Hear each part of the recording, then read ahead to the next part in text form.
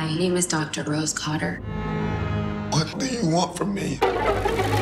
Why is it that everybody else who's seen it is dead and you're alive? I've seen it too. You. You have it? Get away from me! Get away from me! It's smiling at me. Carl? But not a friendly smile. The worst smile I've ever seen.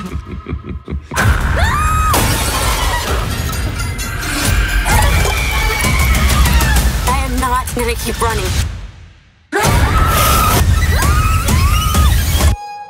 I have to face it. Rose.